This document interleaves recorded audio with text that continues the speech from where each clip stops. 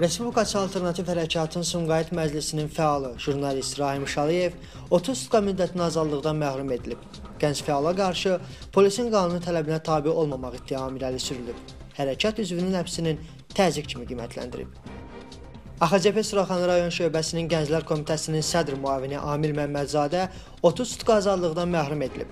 O polisin qanuni tələbinə tabe olmamaqda təqsirləndirilib və rayon məhkəməsi bu barədə hökm çıxarıb. Məlumatı Meydan TV-yə AXCP sədrinin müavini Gözəl Bayramlı verib.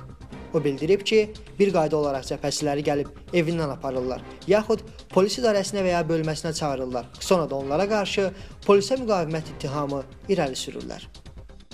Avropa Məhkəməsi daha 4 nəfərin işi üzrə Azərbaycana qarşı kommunikasiya başladıb.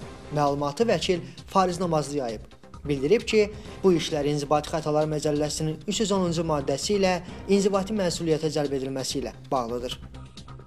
2017-ci ilin ilk ayları üzrə büdcə gəlirləri ötən illərə nisbətən azalıb.